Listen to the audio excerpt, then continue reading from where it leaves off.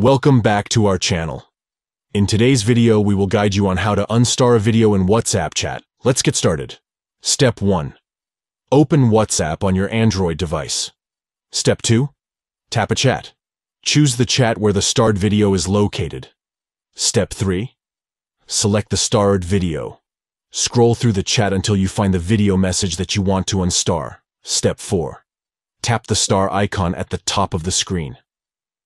Once the video message is selected, you will notice a star icon at the top of the screen.